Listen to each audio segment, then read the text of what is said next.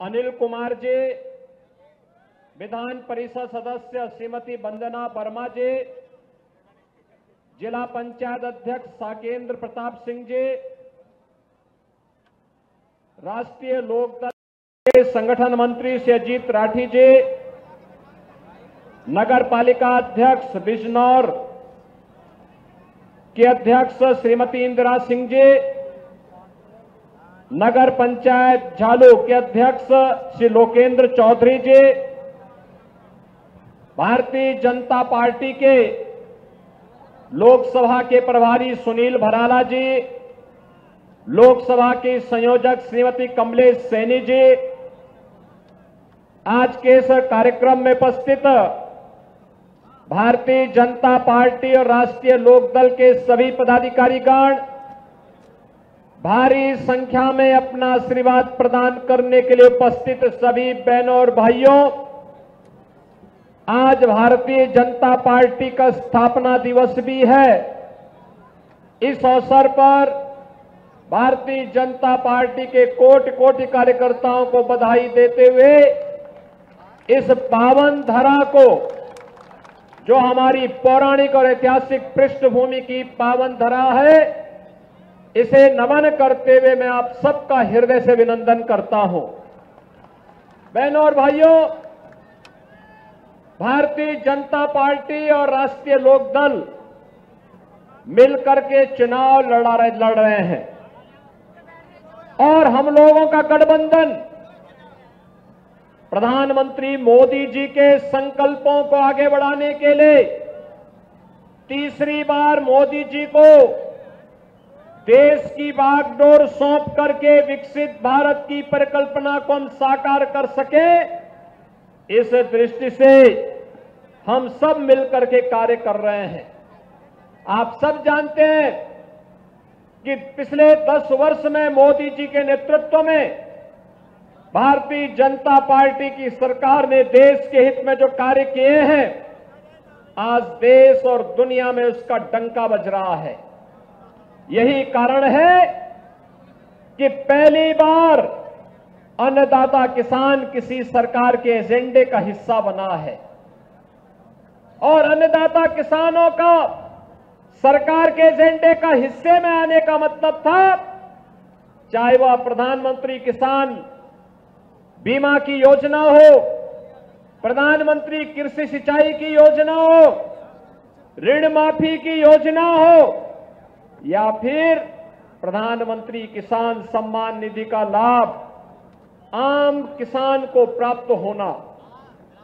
और इन सब के साथ साथ किसानों के मसीहा चौधरी चरण सिंह जी को भारत का सर्वोच्च नागरिक सम्मान भारत रत्न देकर के हमारे अन्नदाता किसानों का सम्मान करने का कार्य भी मोदी जी ने किया है।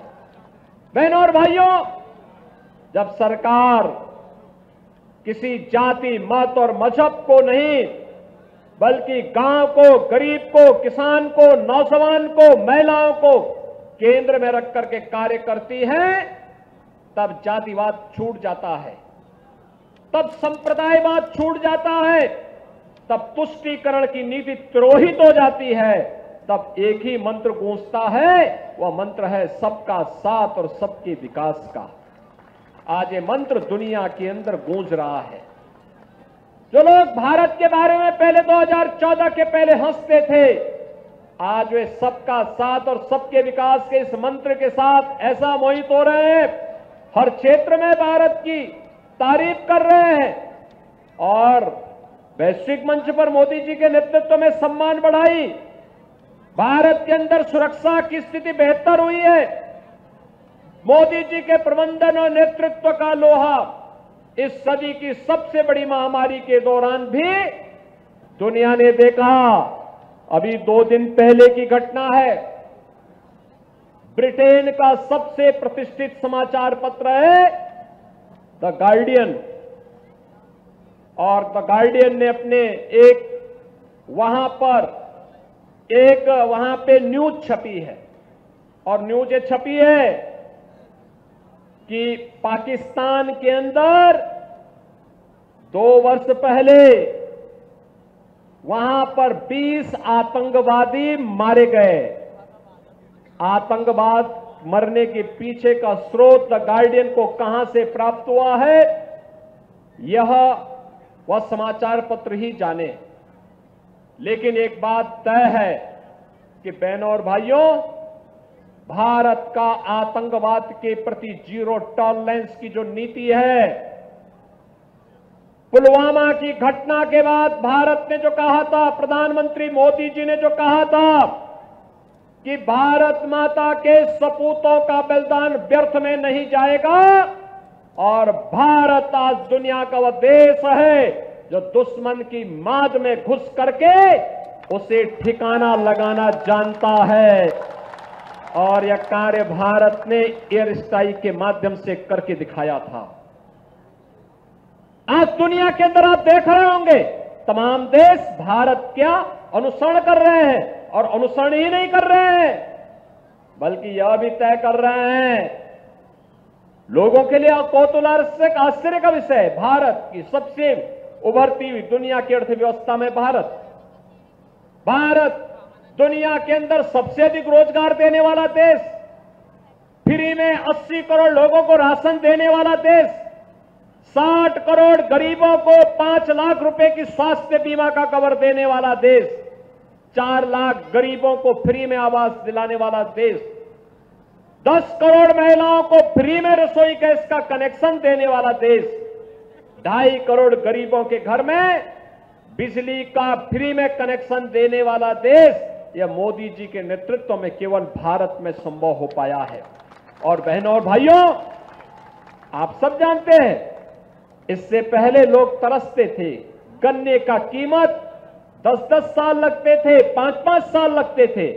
गन्ना किसान गन्ना तो दे देता था, लेकिन मूल्य का भुगतान नहीं हो पाता था। किसान को पैसा लेना पड़ता था, साहकारों से सूद में पैसा लेना पड़ता था।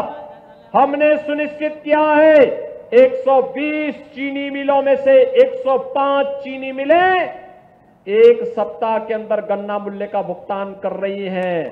जो बाकी 15 हैं, इनके भी पेच कसे जा रहे हैं कि हम उसी को चलाने देंगे जो समय पे गन्ना